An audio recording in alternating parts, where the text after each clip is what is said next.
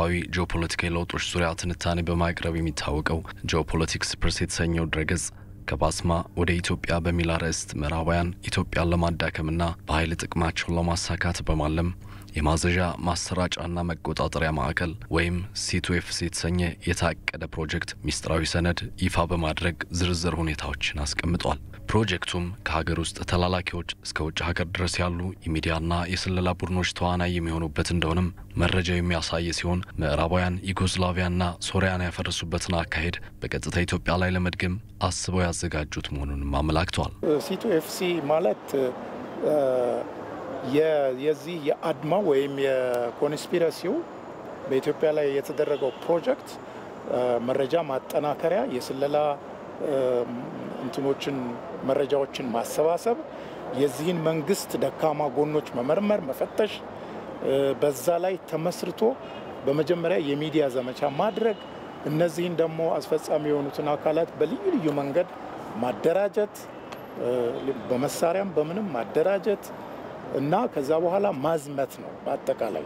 የሲቱኤፍሲ ዋና ዓላማም አሸባሪዎቹን ህወሓትና ኦነግ ሸኔን በትሮይ ፈረስነት በመጠቀም ኢትዮጵያን ወደ ብዙ ትንንሽ ግዛቶች የመከፋፈል እኩይ ዓላማን ያነገበ መሆኑንም የልማትና ዲሞክራሲ አማካሪው ዶክተር አለማየሁ አረዳ ይገልጻሉ። ዓላማው ምንድን ነው?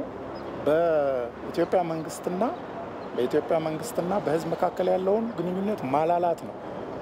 እያላሉ ሄደው እነዛ ቅድም ያልናቸው አስፈጻሚ አካላት ተሳክቶላቸው አዲስ አበባ ከተማ ውስጥ ገብተው ሪፈራንዳም ካካሄዱ በኋላ የሶማሌላንድ አይነት ችግር አይፈጠርም፣ ዶክተር አብይንም ወደ ፍርድ ቤት ወስዶ ለመክሰስ እንደሚለው ሰው ፊት ይመቸናል ብለው ነው የሚያስቡት። እና ስራው ተጀምሯል። ሰሞኑን እንኳን ተመልከት ህወሓት ትህነግ በፕሮፓጋንዳው ዘርፍ በምኑ በሚንጫጫበት ሰዓት ላይ ማንም አልደግፈውም ነበር።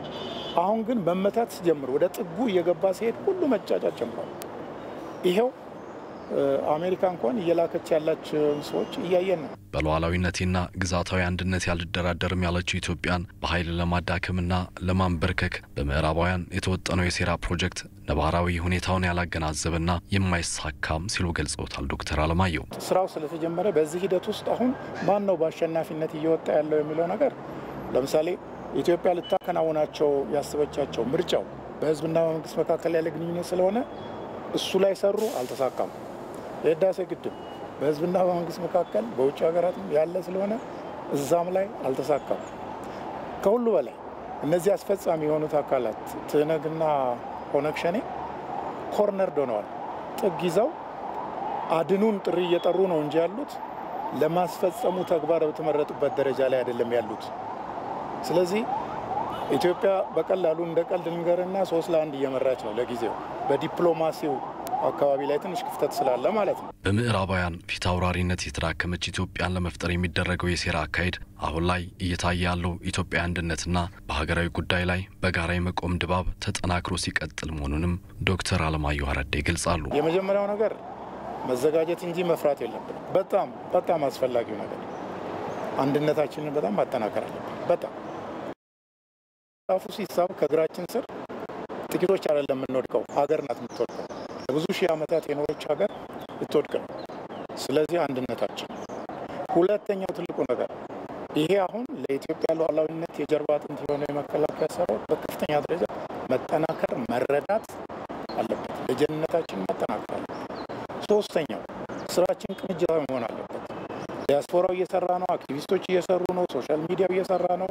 ይኸው mainstream media ውም እየሰራ ነው። መንግስት እየሰራ ነው።